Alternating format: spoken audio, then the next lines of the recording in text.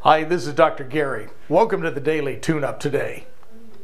As I talk with people sometimes, they go visit their families and come back and have complaints about how badly it went. The outcome they got from that trip definitely was different than the expectation they had before they went. This is pretty common, actually. Sometimes our family can be some of the worst people we have to get along with. In some occasions, though, they can be some of our best friends. One thing you can count on most of the time, your family wants to see you succeed, even though they sometimes have a funny way of showing it.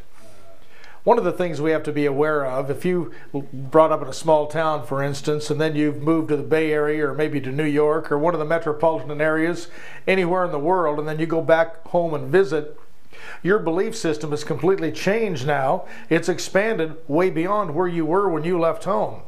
Your parents, though, will have a tendency to isolate you and encapsulate you in that time that you graduated from high school or graduated college and moved away. When you come back, they're going to want to relate to you on that level. What you want to do is understand you've expanded and you're going to have a lot of interesting things to talk about, and you could become very impatient in their misunderstanding of what's going on in your life, or maybe even what your career path is, or where you live, or some of the things you enjoy.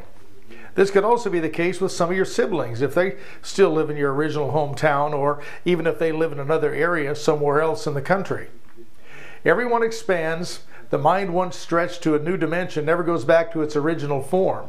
And always remember, when your parents were raising you, they were on a path too to raise a bunch of children or a family and, and get them out there in the world.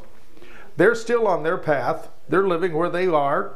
They're enjoying their lives. They have you all grown up now and moving on, but their life's different than yours. So they may still be in that little hometown. It doesn't mean they're stupid or they're not enlightened. It just means they're on their path. So when you go talk to these people, go with the expectation of they're probably not going to understand everything about you and not know how to really validate you and not look for that validation. Validate yourself.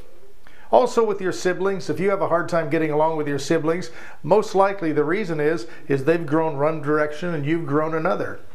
Accept that, love each other for who you are, remember the good old days, and then support each other the best you can. Let's work on that. And between now and the next time you may see some of your relatives or some of your family, you might be traveling during the graduation exercises that come up this spring, or you might even be doing a summer vacation to visit them. Take your expectations to a place where you're going to go there just to appreciate them, love them, and be interested in what they're doing. Until tomorrow, this is Dr. Gary wishing you an extraordinary day. And remember, morning jump starts 7 a.m. on the Pacific Coast. We look forward to seeing you. Bye bye.